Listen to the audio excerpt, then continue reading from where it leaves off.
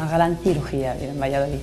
En los últimos 20 años aproximadamente, calculo yo, una cirugía intensa, intensa, reparadora de lavado de cara, de estética, de todo. Se ha lavado la cara a todas las fachadas de Valladolid, a los monumentos, a los portales, a los edificios, todo. Las gentes de Valladolid también se han abierto mucho. El carácter no deja de ser eh, muy auténtico, pero es mucho más abierto y gusta de enseñar lo suyo al, que viene de fuera. Yo recomendaría Valladolid como un buen destino antiestrés.